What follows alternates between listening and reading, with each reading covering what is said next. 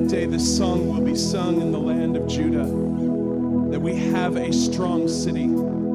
God will appoint salvation for walls and bulwarks. Open the gates that the righteous nation which keeps the truth may enter in. For you will keep him in perfect peace, whose mind is stayed on you because he trusts God. She trusts in you. Trust in the Lord forever, for in Yahweh the Lord everlasting strength. He said that song will be sung in the land of Judah. Judah means praise. So if you are not in a land of singing this morning, join us in the land of Judah and let your song come forth.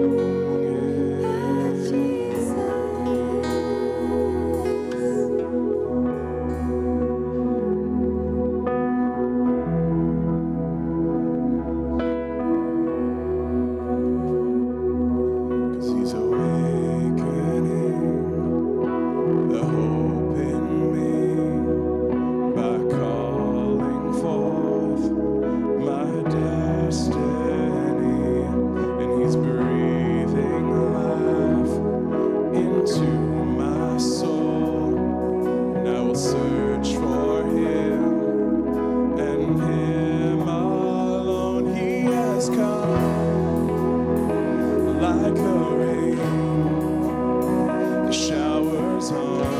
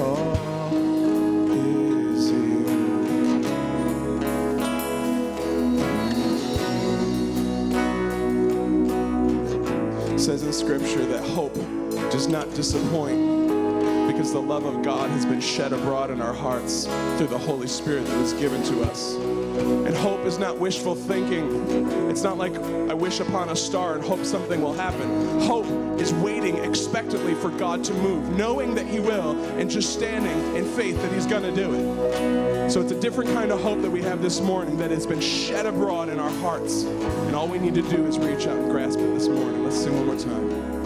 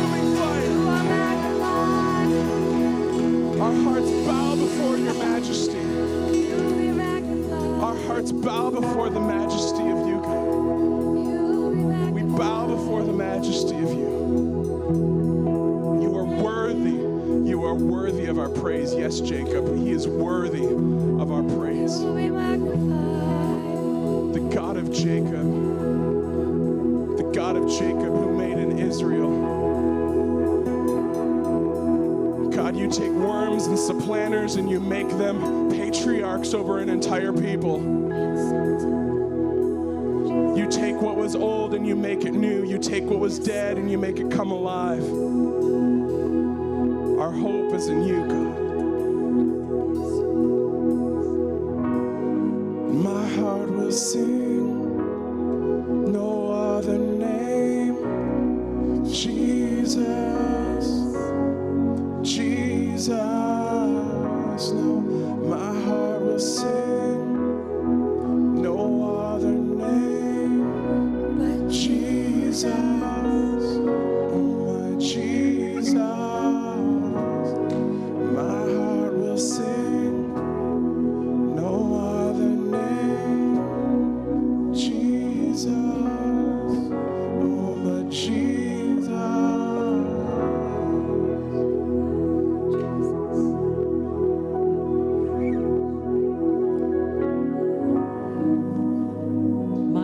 will sing no other name but Jesus. Let's just lift up his name today. Just speak his name. Jesus. We honor you, Jesus. We exalt you,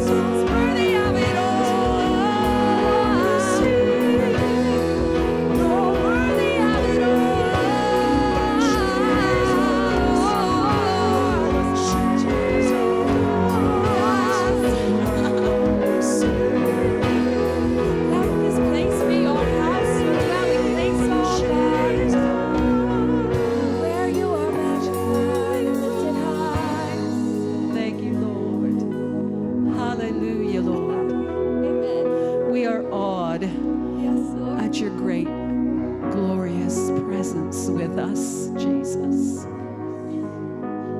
Emmanuel, you are God with us.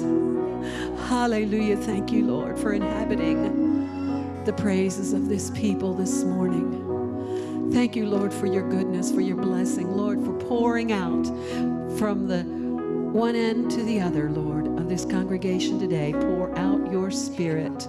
Pour out your spirit on every life in this place today, Father.